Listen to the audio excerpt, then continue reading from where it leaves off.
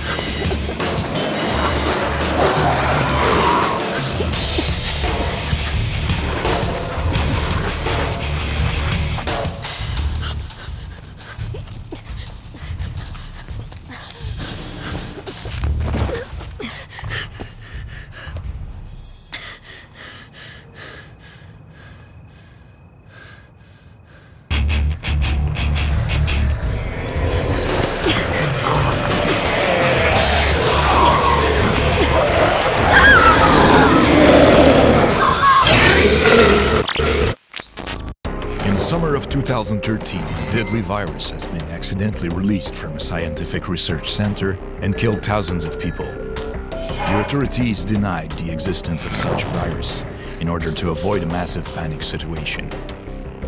But a few days later, the virus mutated and the corpse started to rise up. A single physical contact from an infected will turn you into one of them. The virus took over the west coast and spread towards the east, and nothing seems to stop it. The progression goes fast and will reach the city of Montreal by the end of October. To be prepared to run from the infected, a running event will be organized at the Parc Jean Drapeau on October 26th. Two circuits will be available, 5 and 10 kilometers. Visit www.courirmontreal.com for registration and informations. And don't forget, running is the key to survive. Be prepared to run.